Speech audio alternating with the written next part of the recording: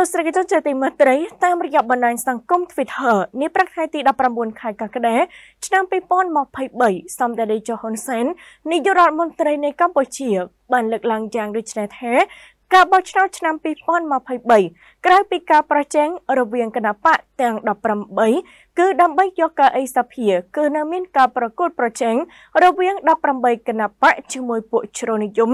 ដែលចង់បំផ្លាញចោលការបោះឆ្នោតថែមទៀតសម្ដេចនាយកហ៊ុនសែននាយករដ្ឋមន្ត្រីនៃកម្ពុជាបានលើកឡើងថាការបោះឆ្នោតសកលនៅឆ្នាំ2023មិនមែនមានត្រឹមតែការប្រកួតប្រជែងដណ្ដើមកៅអីសភារវាងគណៈបកទាំង18ដែលចុះឈ្មោះប្រកួតប្រជែងនោះទេប៉ុន្តែថែមទាំងមានការប្រកួតប្រជែងរវាងបកទាំង18ជាមួយនឹងពួកជ្រុលនិយមដែលចង់បំផ្លាញចោលការបោះឆ្នោតថែមទៀតផងតាមរយៈបណ្ដាញសង្គម Twitter នៅថ្ងៃទី19ខែកក្កដាឆ្នាំ